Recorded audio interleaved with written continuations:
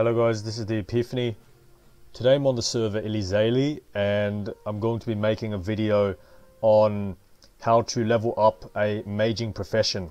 Specifically, it's going to be the jewel maging profession because it's the one that can get you the most profit and it's the one that I've decided to level up to 200 to make me profit on this server.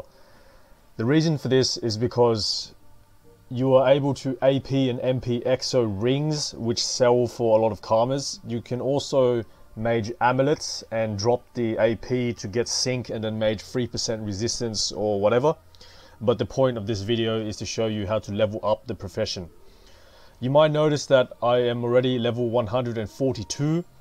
Uh, this video is being recorded on the 20th of March and the reason I mentioned that is because the server Elizaley actually had a rollback and it didn't affect me because I was sleeping. Uh, but the fact that they had a rollback, it affected quite a lot of people, and they've decided to give 50% extra XP for today until 9 a.m. So I've got roughly eight hours remaining, and the thing about that is that I've already leveled up my profession to level 142. I've been very very quick about it. Uh, it's pretty nice. I'm kind of in the rhythm, so hopefully I'll be able to explain to you uh, the tricks in this video.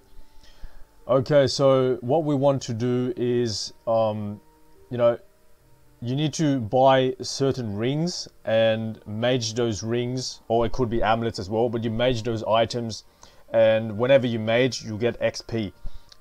Okay, so the first rule is the closer your profession level is to the level of the ring you are maging, the more XP you'll get so level 142 now, for example, the closer an item I'm maging to level 142, the more pro, uh, the more XP I'll get. So I'm currently maging a soft oak ring. I've got all the rings here that are effective and if you want to have a look at the list, I suggest you join the Echo Discord. And when you join, make sure to go to channel access and you need to react to the emote uh, that is the gear looking thing and that will get you access to the maging channel. So it's this one here. That'll get you access to the maging channel which is this one. And then you click the pinned messages. Go down and look at Jew which is short for jeweler. And these are the items that you want to get uh, for leveling up your profession to level 200 the reason why these items have been chosen I want to give a shout out to Marco here. He's been very good in the community contributed a lot um, these items are chosen because of the stats they have. What I mean by that is, um, I need to mention the second rule now, is that the higher the sync value of the rune you are adding to the item, the more XP you'll get. So, as you know, um, okay, so let me just show you an example here. So the first ring that we need to do is a, a plus one, and you know, that's just strength and agility. Just, just mage that, it doesn't really matter. But then as you go into the next ring, which is level 7, is a pink Piwi ring. You notice that it has a heal, and the significance of heal is that it's one of the popular runes to use because it's 10 sync. And 10 sync is, you know, a decent amount of sync considering the heals rune is actually quite cheap as well. So you want to use that. And if you move on to Space Invader ring, you notice that it has heals as well.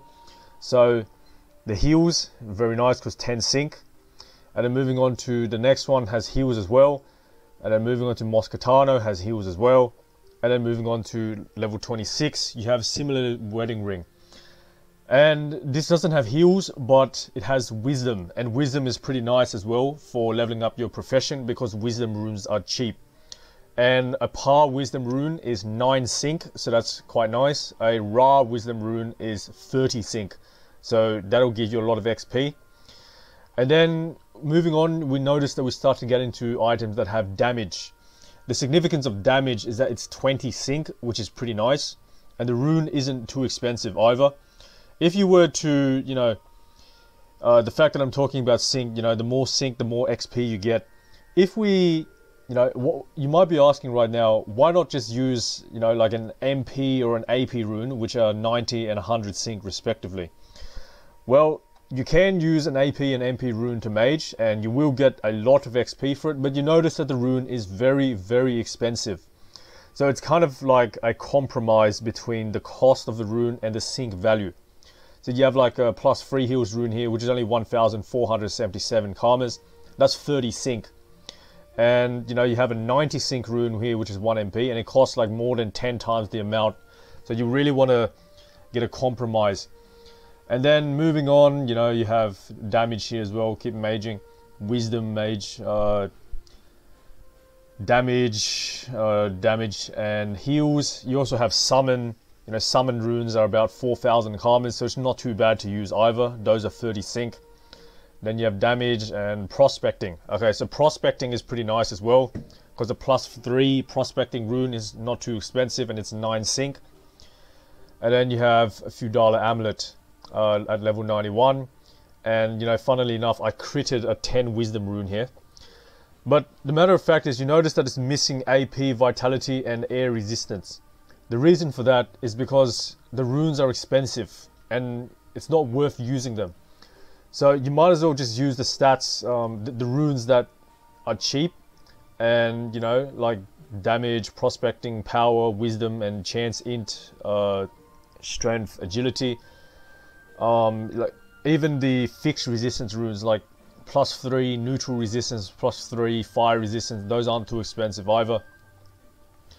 And you know, as you move on, you'll see that I've completely ignored the expensive stats. So I've gotten the runes for the cheap stats only, and I mage those only. Right, so right now I'm actually up to soft oak. So I'm going to continue doing soft oak right now, and I'll explain more about how it works. I also believe that it's important to show you from the high levels up because the low levels, you know, of leveling up your profession is quite boring. Okay, so what we have here is, okay, I've got the XP bar and let's add a free prospecting rune. It lands, as you notice, the XP goes up.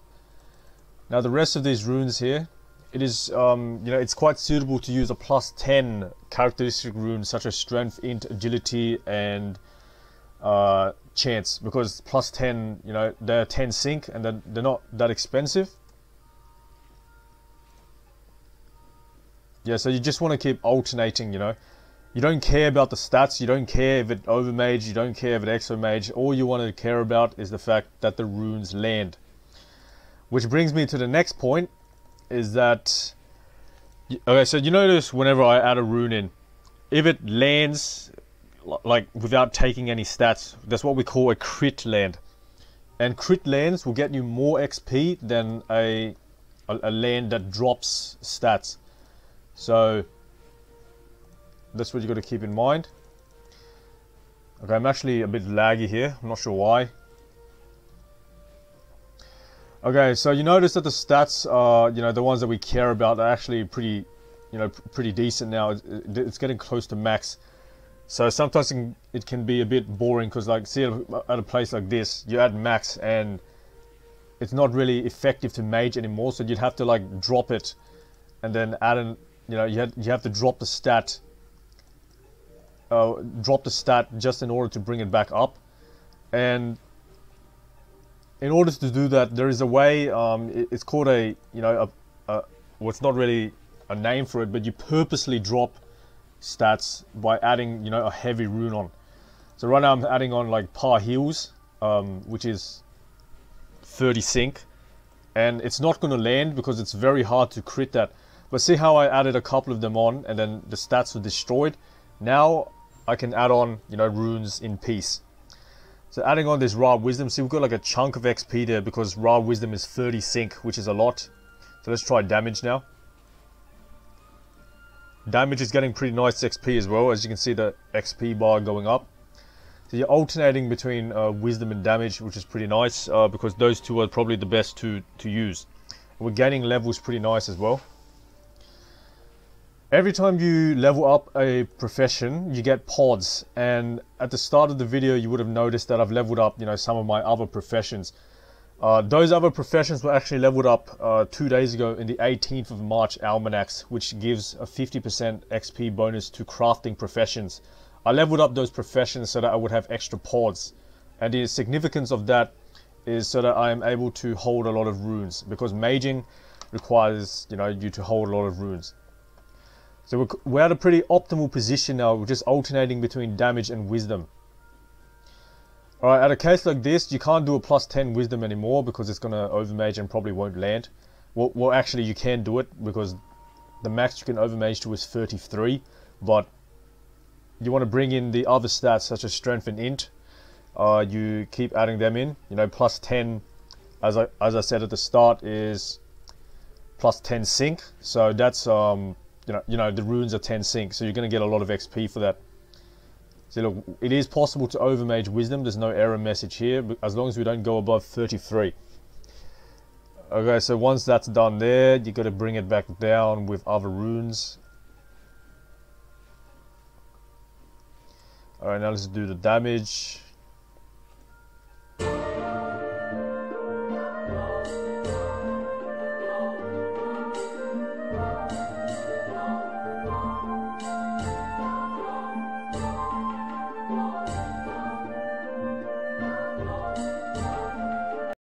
So I'm at level 148, so now it's time to stop the soft oak ring and we'll get the drowned ring in.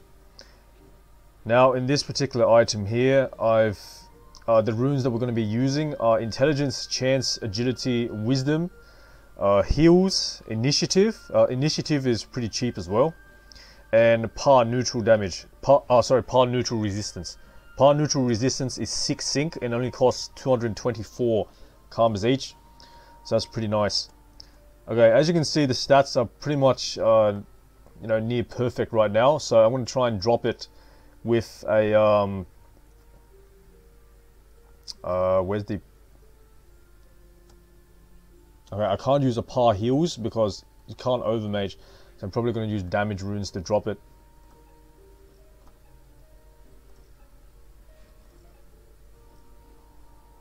Um, yeah, okay, might as well add a summon. Let's see how much XP we get. Alright, that and that jumped like a third of the bar. Pretty nice. Alright, now let's just continue maging. Yeah, heals is pretty nice, getting us a lot of XP. Par wisdom pretty nice, uh, 9 sync. You know, so like you, you, you're basically just trying to like add in runes that have high sync value. And then know, that'll get you the higher XP. Uh, let me just double check this. Uh, the next uh, level 156 is the next item. Okay, so I'll just keep maging till I get to level 156. Now I'm tempted to like add in an MP rune or some shit just to drop the stats. Because, you know, the aim here is to get the stats as low as possible and then basically it back up. That's how you get XP. But it doesn't really matter. Uh, every time you add runes here, um, get XP. Okay, that brings me to the next rule, which is rule number three. If you add a rune and it doesn't land at all, then you will not get any XP for it. It, you know, might sound unfortunate, but that's it.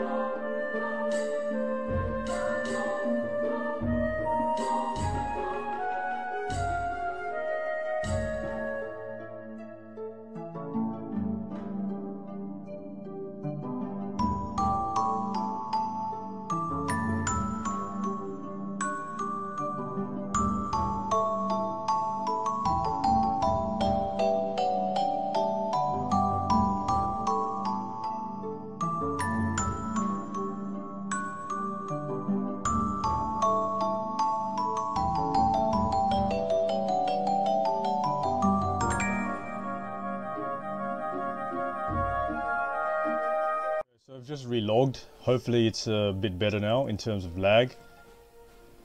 Ah, uh, yes it is. Much better. Alright, so I'm on to the level 156 item now, which is the Kantile Amulet. And I'm just going to be, you know, spamming runes on that. Uh, if you look at the stats on the item here, the majority of the stats are pretty much worthless. Uh, uh, in, in terms of maging that is, so I'm going to be completely ignoring the crit, AP, range, damages, lock, damage, um, pretty much just using the neutral resistance, the prospecting and the wisdom runes to try and level up this uh, jewel magus profession. Uh, you might think that you know the item looks ugly, but like I said in the previous video, it's um, you know it, it's expected. Right, let's see, overmeasure Ra wisdom doesn't land. Probably won't land. Ah, there we go. And then we keep maging, you know. Uh, just like what I did with the previous item, I'm going to skip ahead because, you know, once you get the general idea of what to do, there's no really any need to watch me do this. Um, the uh, the the only thing that I you know feel a little bit unsure about is maybe some of you guys will you know want to see how the maging the low level items work like the plus one and then the pink piwi ring and so on. Uh, but honestly it's it's it's just the same. Okay. I'll cut back when I get to the next item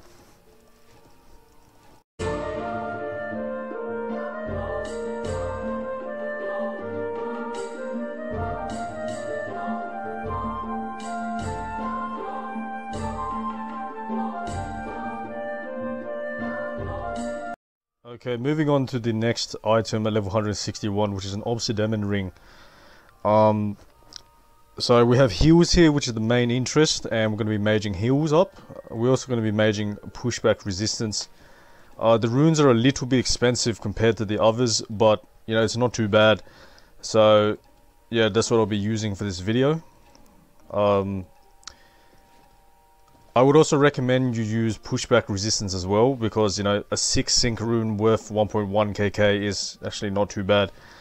Um, as opposed to you know every other rune here, it, it could be a bit expensive uh, to do it. Oh, actually, we have neutral damage, which is 5 sync, and that's 700 kk, and then earth damage, which is 800 kk. Actually, might be a good idea to use those. So I'm just gonna head out and buy some of those actually. I didn't notice it was that cheap on Elizaleh uh, because on Echo it's actually a lot more expensive. It's like 1,500. So yeah, let's see. Earth damage. Um, sorry, earth damage. Neutral damage. Yeah, pretty cheap. Fire damage as well, I think. Okay, that's pretty cheap as well.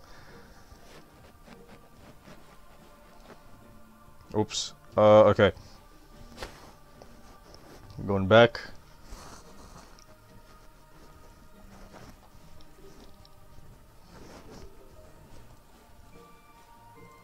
Obsidian ring. Fire damage.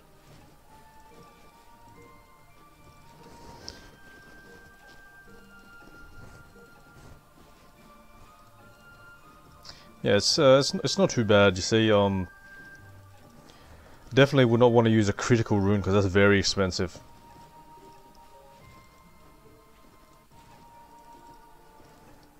Yeah, so, it, you know, you probably got the idea by now since this is like the third or fourth item that I'm maging this video. All you got to do is just add runes in and off. Um, you know, drop runes and then add them back and so on. So it's quite, uh, quite self-explanatory. So once again, I'm going to skip ahead and when I get to the next item, I'll cut back to the video.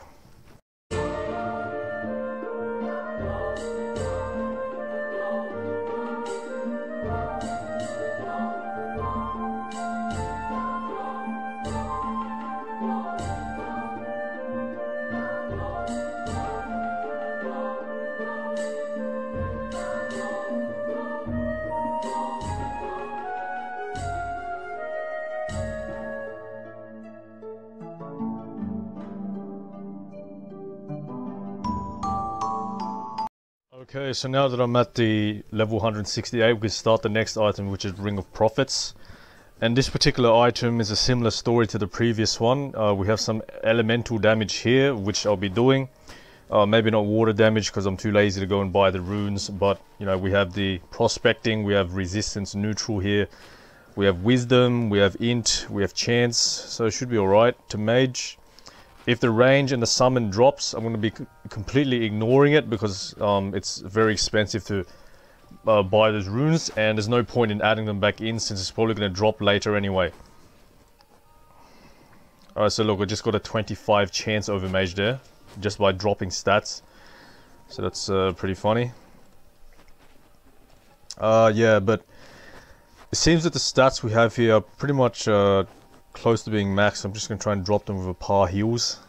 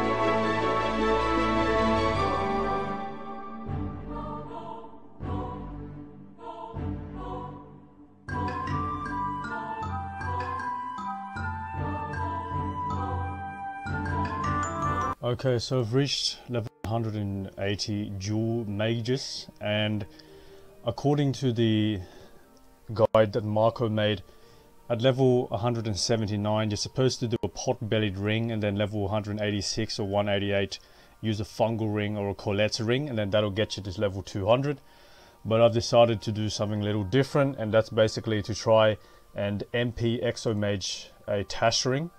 And I'm going to be doing this uh, from level 180 until I get to level 200. If the MP lands early and I'm not level 200 profession yet, then I'm probably going to buy another Tash ring and MP Exo that ring as well.